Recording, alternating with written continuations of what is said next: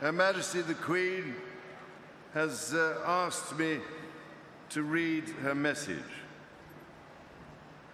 On October the 7th last year, this specially created baton left Buckingham Palace to travel across the Commonwealth.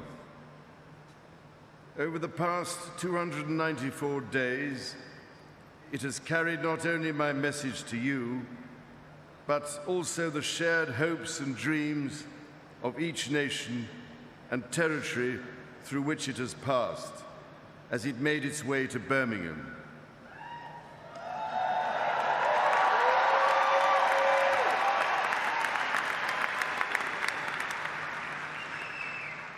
Over the years, the coming together of so many for the friendly games has created memorable shared experiences, established long-standing relationships, and even created some friendly rivalries.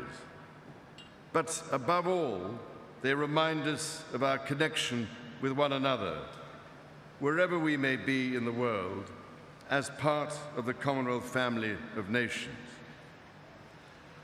Tonight, in the words of the founder of the Games, we embark once again on a novel adventure here in Birmingham, a pioneering city which has drawn in and embraced so many throughout its history. It is a city symbolic of the rich diversity and unity of the Commonwealth, and one which now welcomes you all in friendship.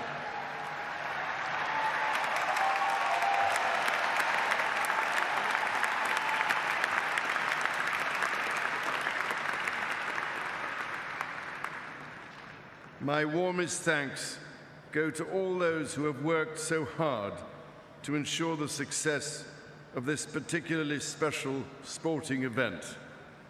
And I wish each athlete and team every success.